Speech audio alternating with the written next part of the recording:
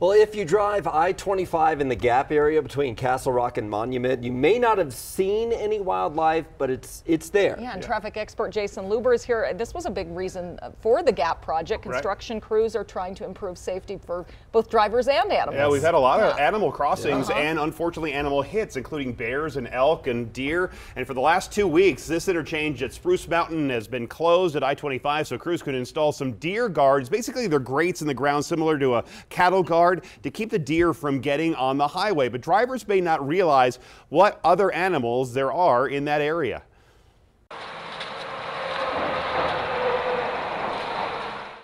That right there is an elk who doesn't seem to be impacted by the traffic noise above.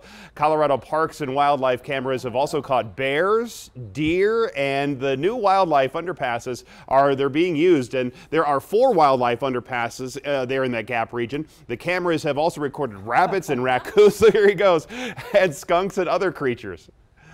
The primary reason for the improvements that we are making on the gap is to improve safety. Thus, the wider shoulders, the additional capacity with one lane in each direction will go a long ways in improving safety. And the wildlife crossings. We had at least one wildlife hit a day because wildlife would cross the interstate. Now they're going under the underpasses.